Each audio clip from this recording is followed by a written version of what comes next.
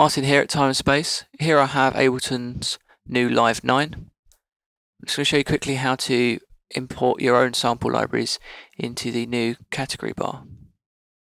When you first launch up Live 9, you'll see that you have the ability to choose from your sounds, um, drum kits, clips and samples that all come with Ableton Live.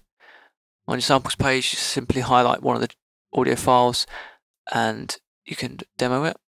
So make sure you have your demo icon linked here.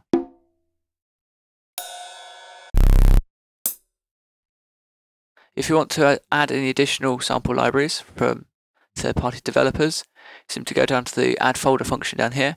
This will launch your browser and allow you to have a look for the folder you want to add. If like us you have all your sounds stored on a sound storage drive, you can just add this main folder which will then allow you to search through the folder structure inside of Live. If you want to add a specific library, like for instance Big Fish Audio's Wild West, I can select the Apple Loops folder here and click to open it. This then adds it to my places locations. When this spinning icon is going, it's just indicating that it's importing files into the browser. So make sure this is finished loading before you try and demo the sounds. Otherwise, you might not end up with everything inside your folder structures. But once that has finished spinning, you'll notice that in your folders, you should have all of your audio files available for you just to demo.